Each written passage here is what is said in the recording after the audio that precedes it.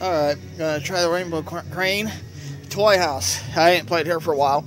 See if I can win that red bear maybe. Hurts too.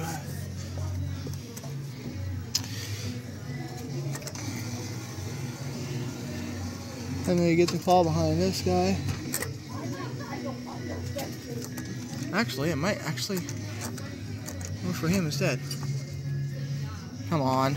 Oh, yes. Nice. So the red bear, take that. Okay, he went in. Cool. I got three prizes today. Awesome. Awesome. Let's snag that right up. So I won this at Steak and Shake. This penguin, Steak and Shake, and I won this elf here uh, at the bowling alley.